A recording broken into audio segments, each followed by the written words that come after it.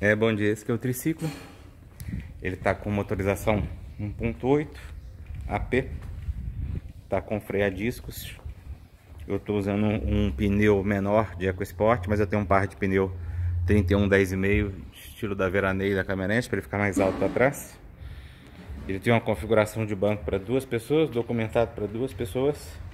Ele tem um encosto que pode ser retirado para andar com duas pessoas no conforto. Coloquei essa bolha para viagem para estrada, ficar mais confortável. Documentação em dia no meu nome.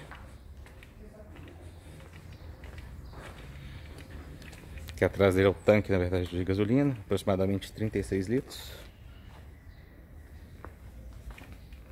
1.8 gasolina.